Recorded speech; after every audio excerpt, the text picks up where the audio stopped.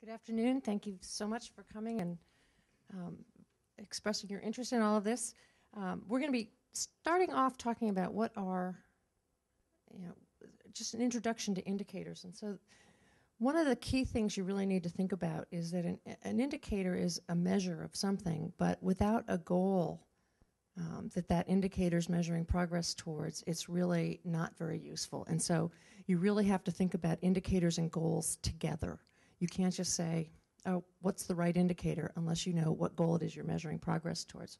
So the goal is the description of the future, and the indicator is a numeric measure. Um, and it, it could be at a system level, what's the big picture of where we're going? It could be at an organizational level, what are we doing about that big picture, or at an action level. And it's important to think about when you develop an indicator which of those levels um, you're measuring, and I'm going to get into that in a little bit more. Um, a lot of times people will say, well, first we have to have, and then depending on who you are, you might say goals and you might say indicators. But in fact, they really work together. A lot of times you can say, well, our goal is, especially if anyone's here is familiar with community master planning or community um, general plans, they say our community is going to be, and there's this wonderful statement about what it is. But if you then ask someone to say, well, what would you measure? What would, what would it be like 50 years from now? It actually helps people to understand how what they they might see in that wonderful paragraph is not quite the same as what someone else means. So it really helps to use your indicators to help refine the goals and use the goals to help define what the indicators are. Um, and they're actually they're both part of a process. It's not that you create the indicators and the goals and then you're done. You know, you have to set the goals, you have to plan, you have to implement something, and then you have to go back and say, are we making progress? And it's a continuous process. So the indicators are a tool. Indicators by themselves are basically a waste of time and resources. Um, one of the biggest issues I have is with people who say, well, we're going to do this indicator report. And I say, well, who's the report for? Well, if we put the indicators out there, then people will just do what they have to do. Well, if you don't know who the audience is, then you don't necessarily know whether that indicator is going to work for that particular audience because indicators actually have several different functions, and different indicators fit these functions differently. So, for example, indicators can be used to raise awareness, they can be used to engage stakeholders, they can be used to inform decisions, and they can be used to measure progress. How many here are, familiar with the ecological footprint as an indicator? I think that is one of the best sustainability indicators that there is. However, what it's useful for is raising awareness and perhaps engaging stakeholders. It's really not a good indicator for measuring progress because it's such a big picture indicator. It doesn't help you make decisions. I mean, I happen to know that I have a huge environmental footprint.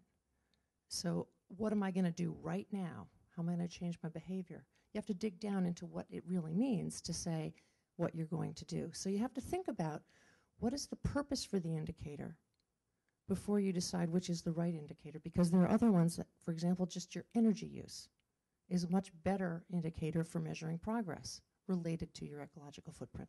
So you have to think about what is the purpose.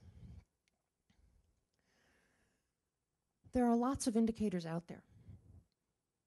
And we have to be careful that we don't just say, well, it has to be something, we've got the data for this, we're going to measure it because a lot of our traditional indicators are not going to help us get to, to sustainability. So what we need are indicators that help us understand instead of these this stovepipe of here's the environmental issues, here are the social issues, here are the environmental issues. We need to have indicators that help us see the connections between all of them. So for example, a lot of times in the economic realm, we measure something like the median income. And so if I said to you, what should the median income be 50 years from now? Anybody got an answer? You know, it's, it's one of those very narrowly defined indicators, and it doesn't tell you how that relates to the cost of living um, or how many people are actually making that median income as opposed to, you know, what's the split. So what we need are indicators that help us um, measure the connections between these different areas. So, a sustainability indicator, and we haven't defined sustainability, but um, that's been defined in a couple of other instances today, so I'm not going to go back to that. But a sustainability indicator is one that measures a key aspect of sustainability. So it's measuring the carrying capacity of one of our types of community capital. And when I talk about community capital, I'm talking about natural, social, and economic capital. So it's got to be measuring something about the carrying capacity or how well that um, community capital is lasting or going to last.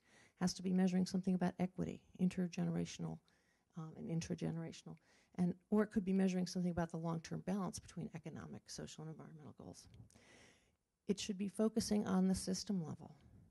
You can't be measuring something that's just about today because sustainability is long term. You need an indicator that helps you focus on the long term. You have to be measuring outputs, I'm sorry, outcomes, not the inputs or the outputs. It doesn't matter how many brochures you put out or how many website hits you have. What we're looking for is what are the greenhouse gases emissions and have we reduced them since last year? Big picture outcomes. And so we also need to be looking at the, the long term um, progress towards a sustainable economic, social, and environmental